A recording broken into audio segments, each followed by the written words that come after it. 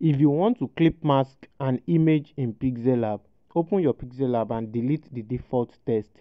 There are a lot of ways to do it using mask tool, using uh, texture tool and all of that but I'm going to show you the simplest method for any beginner.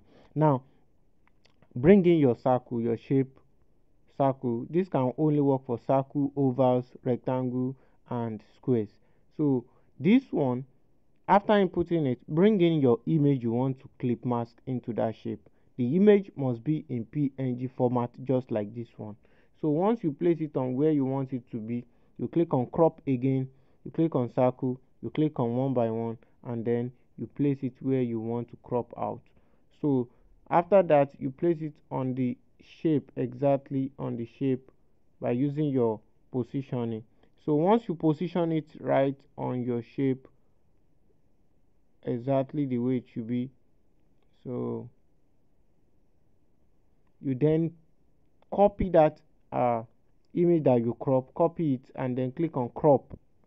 Click on crop for the new image and then place it on this one. Release the circle and bring it upon this one.